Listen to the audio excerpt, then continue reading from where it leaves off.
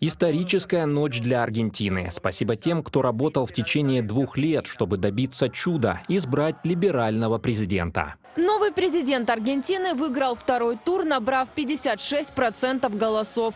Экономист и бывший телеведущий с небольшим политическим опытом Хавьер Милей вступит в должность президента 10 декабря на четырехлетний срок. В своей предвыборной программе Милей отстаивал проведение экономических реформ, чтобы избежать рецессии и побороть бедность. В планах отказ от национальной валюты песо в пользу доллара. Если раньше мы были самой богатой страной в мире, то сегодня занимаем 130 место. Половина аргентинцев бедные, еще 10% нищенствуют. Сегодня мы принимаем либертарианскую модель, чтобы вернуться в число мировых держав. Да здравствует свобода! Что касается внешней политики, Хавьер Милей заявил, что в случае избрания его на пост президента разорвет отношения с Россией, Бразилией и Китаем, поскольку считает их коммунистическими странами и отверг идею вступления Аргентины в группу стран БРИКС. При этом он намерен налаживать отношения с США и Израилем. Также Хавьер Милей открыто выступил и в поддержку Украины. 1 марта 2022 года он пришел на собрание Национального конгресса с украинским флагом в руках. Президент Украины Владимир Зеленский поздравил Хавьера Миле с победой на президентских выборах и приветствовал его четкую позицию по поддержке Киева с начала полномасштабной российской агрессии.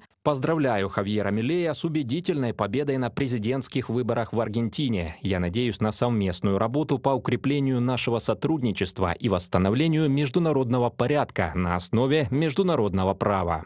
Владимир Зеленский, президент Украины, в социальной сети X. Ранее Владимир Зеленский призвал к усилению поддержки Украины со стороны латиноамериканских лидеров. По словам экспертов, новоизбранный президент Аргентины радикально отходит от пророссийских империалистических взглядов. В частности, во время своей предвыборной кампании он был одним из первых в Аргентине, кто осудил российское вторжение в Украину. Хавьер Милей еще до победы на выборах, по-моему, в интервью журналу «Экономист», сказал, что он полностью осуждает вторжение России в Украину. Он провел демонстрацию с украинским флагом перед посольством Украины в Айресе. Его спросили, что он думает о Путине, и он ответил, что для него это автократ. Именно это слово он использовал. И еще его спросили, готов ли он встретиться с Зеленским, и он открыто ответил «да», чего пока не делал ни один лидер ни одной из стран Южной и Центральной Америки. Поэтому я думаю, что мы можем быть оптимистами, когда речь идет об отношениях Аргентины и Украины.